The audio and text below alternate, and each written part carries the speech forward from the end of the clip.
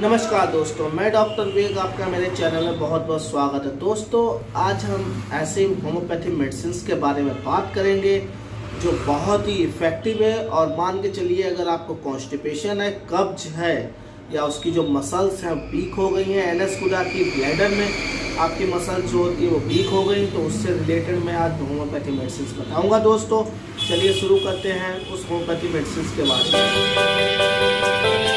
नमस्कार दोस्तों। दोस्तों, आज मैं एक ऐसे होम्योपैथी मेडिसिन के बारे में बताऊँगा जिससे आपकी जो समस्या है बहुत ही जल्दी रिलीफ हो जाएगा और आपका जो प्रॉब्लम कई महीनों या कई सालों से चल रहा था, वो एकदम से ठीक हो जाएगा। तो दोस्तों, वो दोस्तों होम्योपैथी मेडिसिन है एलूमैन।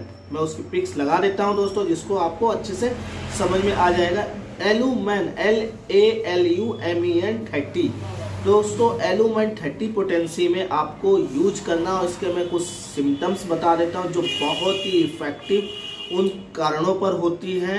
और स्पेशली दोस्तों, बुज़ुर्गों में ज़्यादा फ़ायदेमंद। दोस्तों, अब हम बात करते हैं कुछ सिम्टम्स में दोस्तों, जिनकी उम्र 50 साल मतलब जो बुज़ुर्ग हो चुके हैं और उनको लैट्रीन करने में दिक्कत होती है, कब्ज होता है कॉन्स्टिपेशन होता है और साथ ही साथ दोस्तों, उनको पश्चाघात हो गया। मतलब उनकी एनस गुदा की पश्चाघात मतलब पैरालिसिस हो गया। मतलब लैट्रीन इतनी सख्त हो जाती है तो मसल्स जो एनस गुदा की होती है, वो पैरालाइज्ड हो जाती हैं या फिर वीक हो जाती हैं। जिसकी वजह से मतलब पार्शियल या पूरी टोटली जो मसल्स होती है कॉन्स्ट्रक्शन नहीं कर पाते रिलैक्स नहीं कर पाते, जिसकी वजह से उनकी लैट्रिन नहीं निकल पाते। दोस्तों, उसमें बहुत ही इफ़ेक्टिव मेडिसिन है एलुमेंट थर्टी पोटेंसी में, दोस्तों। एलुमेंट थर्टी पोटेंसी में, दोस्तों, उन बुज़ुर्गों को देनी है जो कॉन्स्टिपेशन के ज़्यादा शिकार रहते हैं और उनको मल द्वार से लेट्रिन करने में बहुत ही दिक्कत होती है। मतलब वो अच्छे से निकाल नहीं पाते। तो दोस्तों, पश्चाघात हो जाना मतलब पैरालिसिस हो जाना उस मसल्स का, लेटरिन की जगह पर मल द्वार का। तो दोस्तों, उसके लिए एलुमेंट थर्टी बहुत ही इफ़ेक्टिव मेडिसिन है दोस्तों। और दोस्तों, दूसरा इसका मैं कारण बता देता हूँ। जैसे कि दोस्तों, पहले मैं एक बीमारी के बारे में बता देता हूँ। जैसे कि जिनकी लेटरिन अच्छे से नहीं हो पाती है मल द्वार में ही वहाँ पर फंसी रहती है, जिसके कारण वो लेट्रिन जो है वो सूख जाती है, जिसके कारण धीरे धीरे ज़्यादा दिक्कत होने लगती है, दर्द होने लगता है तो दोस्तों उसको मेगा कोलन बीमारी का नाम बता हो जाता है डायग्नोज कर देते हैं मेगा कोलन को। तो दोस्तों मेगा कोलन में अगर आपको ऐसा दिक्कत होती तो उसको आप मेगा कोलन कहते हैं और उसके लिए एलुमेंट थर्टी बहुत ही इफ़ेक्टिव है। दोस्तों वही बात होती है, जैसे कई बार देखा हो कि किसी किसी की लेटरिन बहुत इतनी सख्त हो जाती है कि हाथ डाल के या उंगली डाल के उसको निकालना पड़ता है दोस्तों। तो उसके लिए दोस्तों एलुमेंट थर्टी बहुत ही इफ़ेक्टिव और कारगर दवाई है।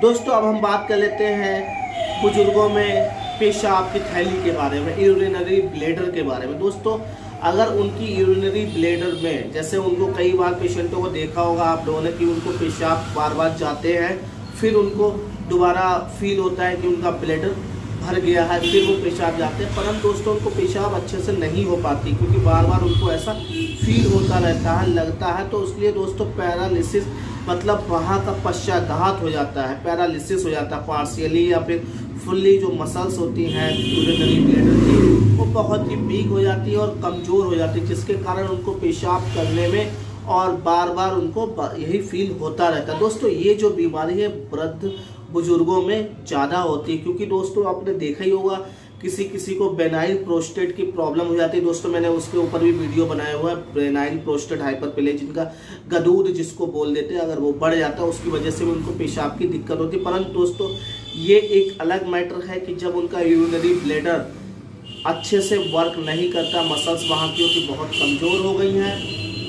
और उनको बार बार पेशाब की लगा रहता है कि हाँ मेरा ब्लेडर फिर से फुल मतलब आलस सा लगना, पश्चाघात हो जाता है पैरालिसिस हो जाता है ब्लेडर का, जिसकी वजह से उनको ये दिक्कत आती है दोस्तों।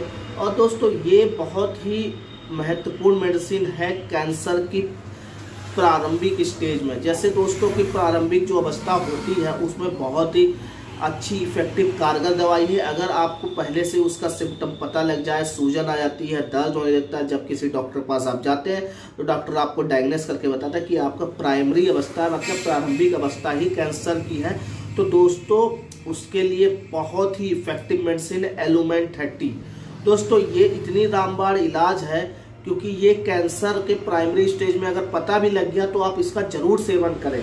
दोस्तों, और दोस्तों एक और मैं इसका कारण बता देता हूँ कि अगर बुज़ुर्गों में, दोस्तों ये ज़्यादातर बुज़ुर्ग की ही मेडिसिन है, बुज़ुर्गों में छाती में घर घर जैसे कि कई बार उनको हो जाता है कि सर्दी, खांसी हो जाती है तो बुज़ुर्गों में जब छाती जकड़ सी जाती है तो उनकी घर घर की आवाज़ आती है, साय साय की बोलती है, और जब वो उनका बलगम निकलता है तो रेसा मतलब जैसे पतला जो तार नहीं होता, उसकी तरह फील होता हुआ टपकता है। तो दोस्तों, वो ये जो सिम्टम है एलुमाइन थर्टी का ही है। और वो बहुत ही इफ़ेक्टिव मेडिसिन है दोस्तों। तो दोस्तों, ये जो थे, ये बहुत ही इंपॉर्टेंट कारण थे। और एक मैं इसका और इम्फॉर्मेटिव कारण बता देता हूँ जो बहुत ही कारगर है दोस्तों।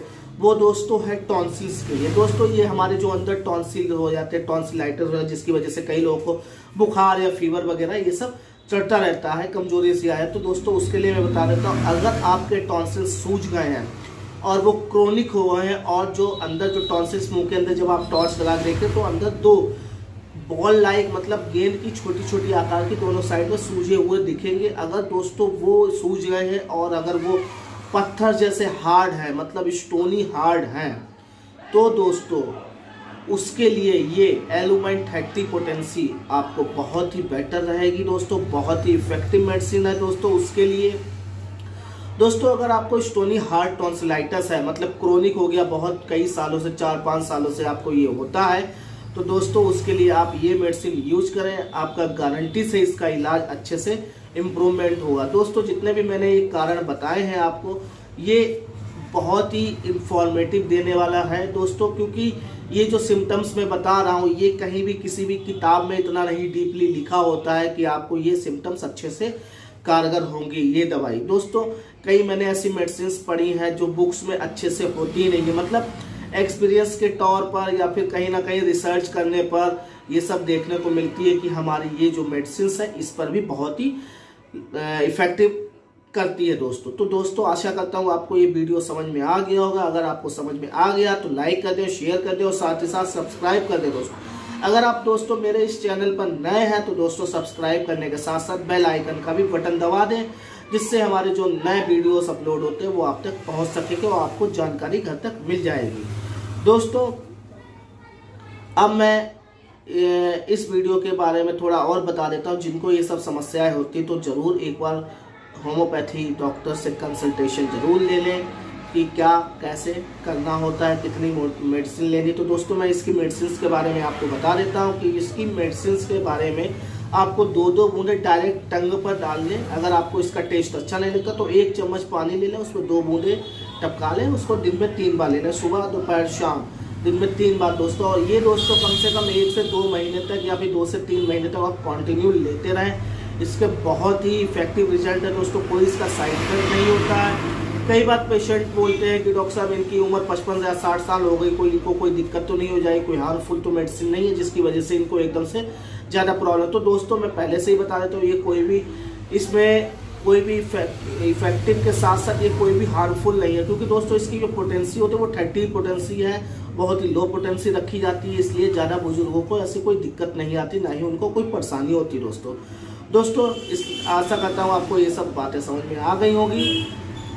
और आप मेरे इस वीडियो को ज़रूर लाइक कर दें। और साथ ही साथ दोस्तों, मैं अगर मुझसे अपॉइंटमेंट लेनी है कंसल्टेशन लेनी है तो मेरा इस डिस्क्रिप्शन पर नीचे मोबाइल नंबर लिंक रहता है, या फिर डिस्प्ले पर भी मोबाइल नंबर यूज़ चलता रहता है तो जिससे आप हमसे कंसल्टेशन ऑनलाइन ले करके और जो भी उसकी फ़ीस होती है, वो आप पे करने के बाद ही आपसे डॉक्टर से बात हो पाएगी और आप मेडिसिन भी प्रोवाइड करवा पाएँगे और आपके पास मेडिसिन पहुँच जाएगी दोस्तों।